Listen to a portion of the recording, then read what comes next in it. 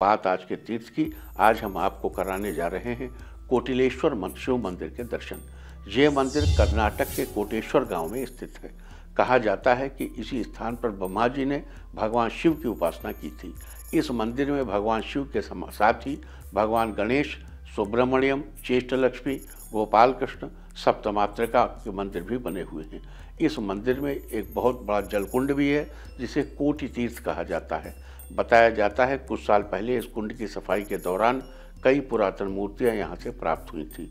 लोग दूर दूर से यहाँ भगवान कोटिलेश्वर के दर्शन करने आते हैं। तो आप भी कीजिए इस पुरातन मंदिर के दर्शन।